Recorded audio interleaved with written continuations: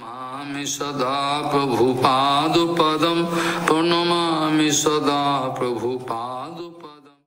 जो साधु लोग हरिनाम और भगवान का नाम का महिमा प्रचार करते रहते हैं, ऐसा महाभागवत वैष्णव और भागवत जी महापुराण दोनों दोनों, एक है ग्रंथ भागवत, एक है भक्त भागवत, दोनों का ही। नित्यम भागवत सेवया नित्यम भागवत सेवया और इसमें क्या होता है?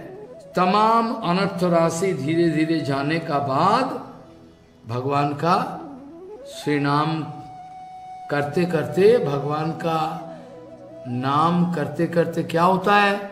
भगवान का नाम करते करते भगवान का नाम का अंदर में, भगवान का रूप, भगवान का गुण, भगवान का लीला, अपने आप स्फूर्ति प्राप्त होने लग जाता है।